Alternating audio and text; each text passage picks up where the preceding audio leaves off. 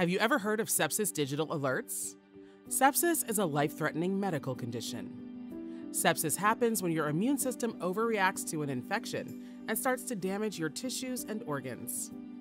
Anyone with an infection may experience a decline in health that could lead to sepsis. And symptoms and signs can easily be mistaken for flu, for example.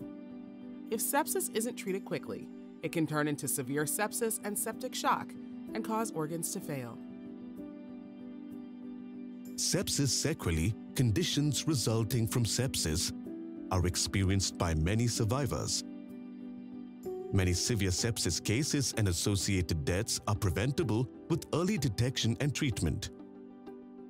For this reason, the DiAlS study has investigated the impacts of digital alerts for sepsis and patient deterioration in hospitals. Digital alerts helps address the challenges posed by infections worsening into severe conditions and warns healthcare professionals of suspected sepsis so further investigation can quickly begin.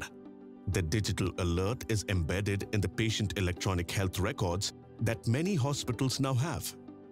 Electronic records provide further information about the patient and support the clinical teams to decide the best course of action and treatment as quickly as possible which is key to improving patient outcomes and can help reduce the severity of the consequences of sepsis.